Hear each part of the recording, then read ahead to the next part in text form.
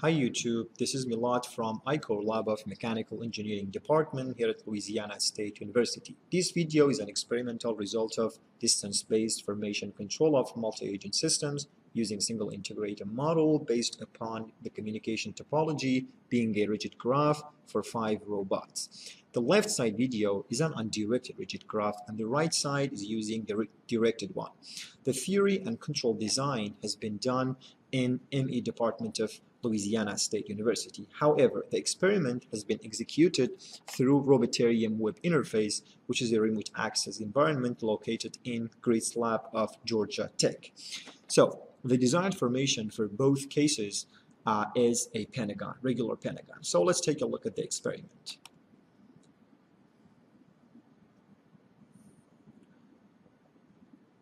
As you might have noted, the left side, which is an undirected rigid graph, the rate of convergence is much faster than the directed one.